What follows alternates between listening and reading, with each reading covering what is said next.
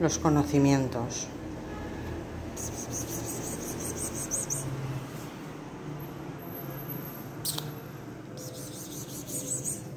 Es que te pones ahí si me sale a contraluz, cariño.